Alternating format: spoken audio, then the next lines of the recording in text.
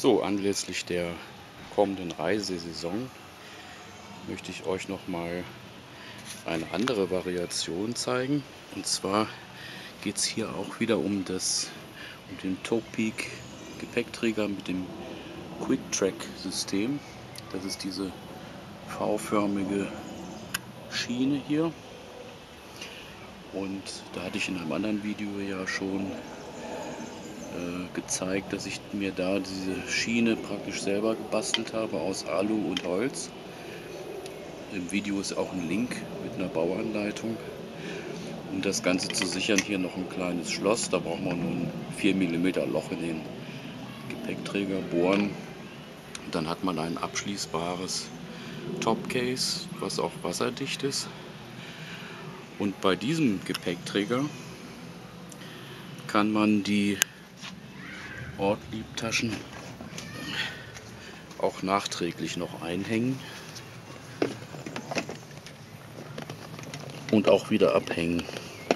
Also wenn man mal, wenn man das Rad dann auch in der Stadt benutzen möchte, ohne Gepäcktaschen, lassen die sich also ganz leicht wieder abhängen. Dafür sind sie dann aber nicht äh, gesichert, so wie in dem anderen Video zu sehen, wo die dann praktisch auf der oberen Stange eingehängt, eingehängt werden. Dann, kann, dann sind sie so dicht unter dem Topcase, dass sie nicht mehr geöffnet werden können. Ja, das ist halt eine äh, andere Variante dieses Topeak Gepäckträgers. Kostet so um die 35 Euro. So, dann hier noch eine interessante Sache, da habe ich auch lange nach gesucht. Und zwar nach einem Kompass, der auch flüssig gedämpft ist und, und gut ablesbar ist vor allen Dingen. Und da habe ich alle möglichen Variationen schon ausprobiert. Und das hier ist ein handelsüblicher Tauchkompass. Und den machen die sich, die Taucher machen den sich ums Handgelenk. Und ich habe hier einfach ein bisschen Moosgummi bzw. Neopren um das Hauptrohr gewickelt und dann den Tauchkompass da wie an einem Handgelenk befestigt. Also ich könnte noch ein Loch enger, aber so ging mir das auch schon. Wenn ich jetzt also die, das Fahrrad bewege, dann bewegt sich der Kompass auch ganz sensibel mit. Ich wollte ihn eigentlich erst hier oben befestigen, aber das ist zu schräg und dann bewegt sich der Kompass nicht mehr. Und hier oben war es zu eng. Aber hier oben wäre auch eine gute Möglichkeit, wenn man wenn ihr da Platz habt. Ja, das ist hier für eine Ortlieb Lenkertasche noch so eine Befestigung, ist auch sehr praktisch. Gibt es auch mit äh, Kartenfenster. So, das hier ist die Ortlieb Lenkertasche. Die ist natürlich auch wasserdicht. Kann man also schräg oder gerade befestigen, wie man das will. Man kann die abschließen. Das heißt, die Tasche selbst kann dann nicht mehr gestohlen werden, der Inhalt natürlich trotzdem. Weil das ist ja hier nur so mit Druckverschlüssen.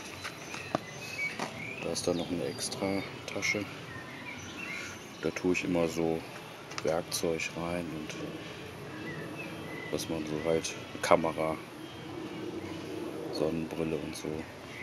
Was man halt schnell mal braucht. Aber sehr schön ist auch die Kartentasche. Die ist auch wasserdicht verschließbar mit so einem Klettverschluss.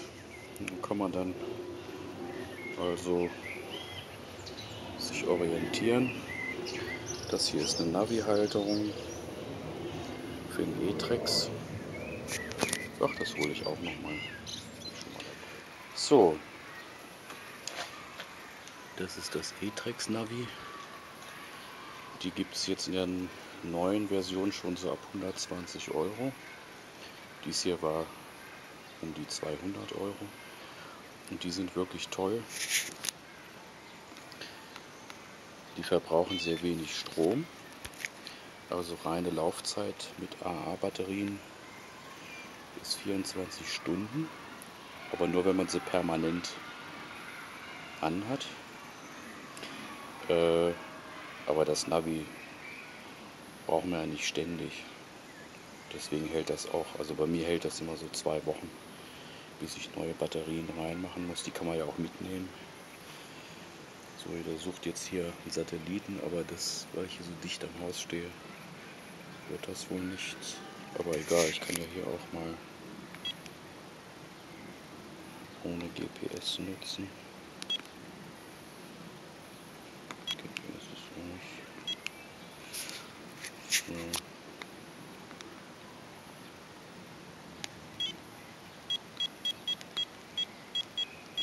Hier kann man die Beleuchtung einstellen. Mache ich mir jetzt aufs hellste, damit man auch was sehen kann. Und wenn ich jetzt, ist also relativ leicht zu bedienen, es gibt allerdings immer mal wieder Unter-Untermenüs.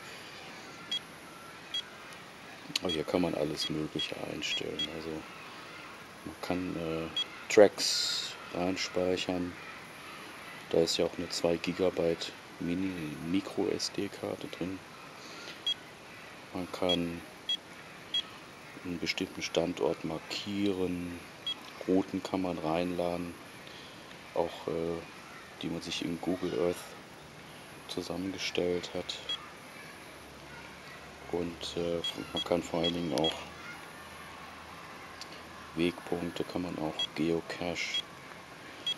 Und das ist sehr interessant, diese POIs, also Point of Interest. Da kann man sich von, von der ADAC-Seite, ist auch auf meiner Website ein Link, äh, sämtliche Campingplätze Europas runterladen. Und dann wenn man dann irgendwo in der Pampa ist, drückt man da einfach drauf und dann sieht man automatisch, wo der nächstgelegene Campingplatz ist. Adressen, Essen und Trinken ist auch praktisch. Tankstellen, wenn man mit dem Motorrad oder Auto unterwegs ist. Es geht auch für Autos, auch für Autobahnen. Das kann man alles in der Konfiguration einstellen wie man das benutzen möchte als Fußgänger, Radfahrer, Autofahrer, Motorradfahrer.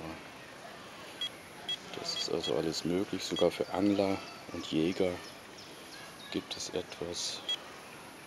Sonne und Mond und so weiter. Also es ist ein sehr feines Gerät, was auch sehr schnell reagiert. Das hier ist auch sehr schön. Das ist ein, äh, eine Halterung für eine Kamera. Und zwar, das ist ein Stativgewinde. Und da wird die Kamera also dran geschraubt. Das hier ist ein Kugelgelenk. Das kann man also einstellen, wie man das braucht. Kann man neigen und rechts nach links, vorne und hinten. Und der Festziehen, das wird einfach nur hier mit so einem Ratschverschluss wird das festgezogen. Das hält hier am Lenker sehr gut. Man kann dann auch noch prima mitfahren. Es nimmt halt ein bisschen Platz weg, aber das macht nichts. Ja. Lenkertasche mit Kartentasche. Navi. Tacho. Kamera, Haltung. Kompass, da kann ja eigentlich nichts mehr schief gehen.